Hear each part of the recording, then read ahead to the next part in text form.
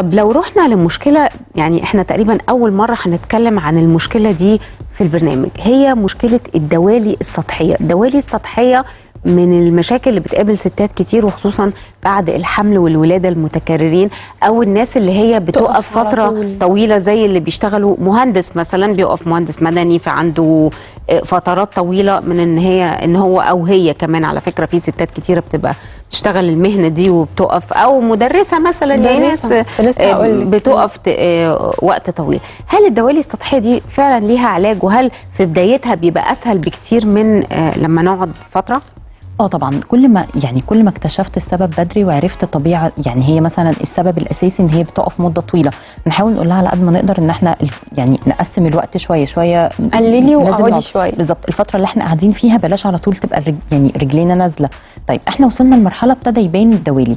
على حسب بقى المنطقة بالظبط وعلى حسب هي يعني في ناس كمان ما بتبقاش مشكلة دوالي نفسها على قد ما هي مثلا بتكون علامات بتكون آه، نتيجة إن هي حاجة أعمق شوية. عندي دلوقتي الليزر ابتدى يحل لي المشكلة دي بس المهم يكون السبب بتاع الدوالي اللي هو حاجة vascular حاجة آه، دموية. امم ال- ليها علاقة بالأوعية الدموية بالظبط. يعني. الموضوع بيتحل معايا يمكن بياخد وقت شوية أربع أو ست جلسات بس بوصل لنتيجة مرضية بنسبة كبيرة جدا. بتعملي إيه؟ يعني بتدخلي حاجة تحقنيها مثلا ولا بتمشي على حاجة من لا إحنا بنشتغل بليزر بطول موجي معين. آه. بيبتدي إن هو يعالج شكل الدوالي دي جلسة عن جلسة بلاقي الدنيا اتحسنت. وكل ما مشيت على التعليمات مظبوطة يعني مثلا إن أنا هرفع رجلي من فترة معينة في اليوم إيه مثلا هاخد break شوية.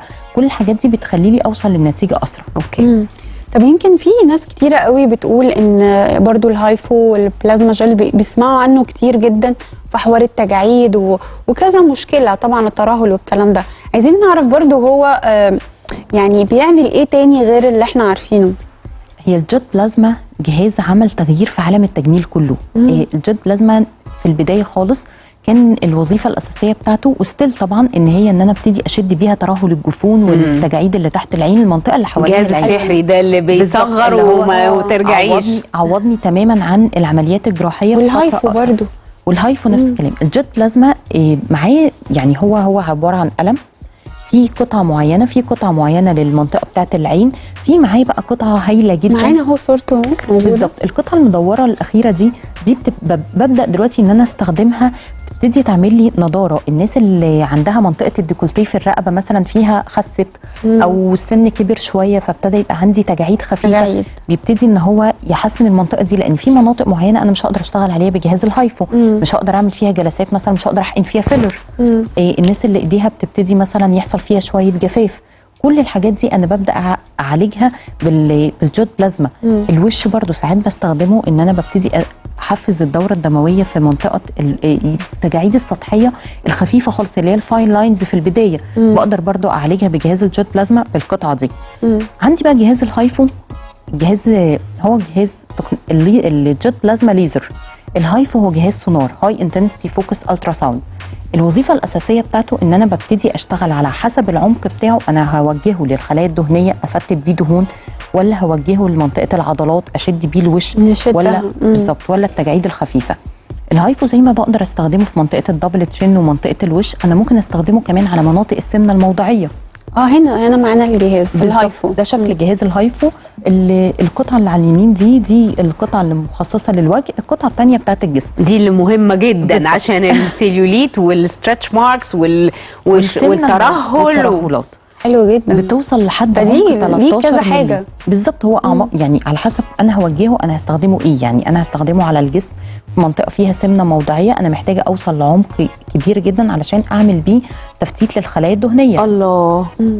فرق جدا هنا آه، هنا منطقه الوش عندي برضو منطقة اللغد منطقة اللغد ساعات بتبقى مزعجة. جدا في حالات كتيرة جدا مم. لأن بيبقى سبب الدهون وأنا مش عارفة إن أنا حتى لو عملت شد أو أي حاجة مش ده الشكل من قريب بقى يعني. من الوش أنا إزاي وشها بقى في طالع. لفوق وخطين اللي اللي جنب اللغد لا، اللغد. اختفى تماما.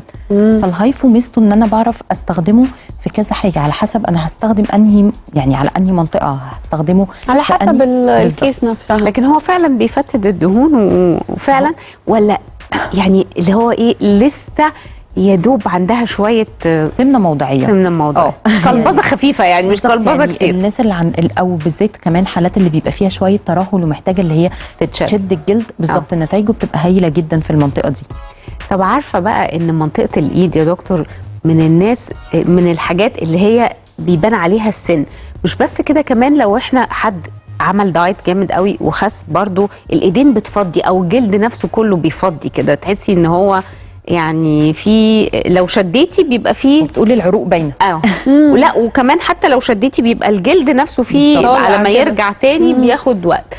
آه، حتى لو رحتي عملتي مانيكير حتى لو رحتي عملتي أي حاجة برضو الإيد شكلها ما بيبقاش حلو. شكلها كبير. شكلها كبير عجوزة. إزاي أنا أقدر أخلي الإيد دي ترجع شكلها تاني كده طبيعي وجميل؟ الإيد دايما من المناطق اللي الإيد والرقبة. آه. يعني دايما مناطق بيبان عليهم السن ودايما بيبقوا مظلومين جدا. أنا ما بتكذبش أول ما ببدأ إن أنا أهتم بهتم دايما بالوش وبنسى مثلا إيديا. صح. فأنا فقدت وزن ابتدى يحصل شوية تهدل في الوش جريت ظبطت الدنيا من فوق وناسية خالص إن شكل الإيد. أو يمكن شوية مع كبر السن في مرحلة معينة. بيبتدي إن أنا الإيد بتفضى تماما وشكل العروق اللي بتبقى معرقه بالظبط. وبيبقى المنظر ومعرقة كمان. آه، يعني مش بس معرقه يعني- وكمان معرقة. ياه بالظبط. فرقت جدا. إحنا دلوقتي بنقدر نحقن فيها filler مم. ب filler بس filler مخصص منطقة الإيد. منطقة الإيد عندي منطقة بتح- بتتحرك كتير بستعملها في مية مدة طويلة.